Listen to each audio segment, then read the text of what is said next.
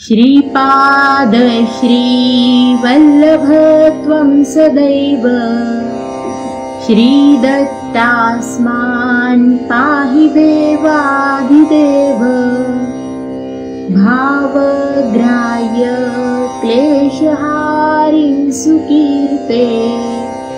घोरात् कष्टात् उद्धरास्मान्नमस्ते त्वन्नो माता त्वं पिताप्तोऽधिपस्त्वम् त्राता योगक्षेमकृत्सद्गुरुस्त्वम् त्वं सर्वस्वं नाप्रभो विश्वमूर्ते घोरात् कष्टात् उद्धरास्मान्नमस्ते पापं तापं व्याधिमादिं च दैन्यम् भीतिं क्लेशं त्वं हराशु त्वदैन्यम् प्रातारं वीक्ष ईशास्तजूर्ते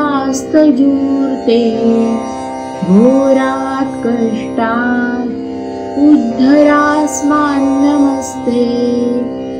नान्यस्त्राता नापि दाता न भर्ता। त्वत्तो देव त्वं शरण्योकहर्ता पूर्वात्रेया नुग्रहं पूर्णराते।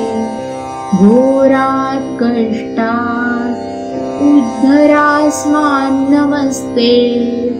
धर्मे प्रीतिं सन्मतिं देवभक्तिं सत्सङ्गाप्तिं देहि भूक्तिं च मुक्तिं भावासक्तिं चाखिलानन्दमूर्ते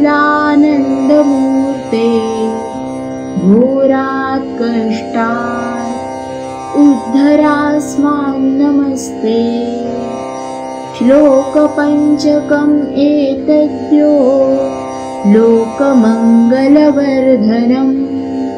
प्रपठे नियतो भक्त्या स श्रीदत्तप्रियो भवे इति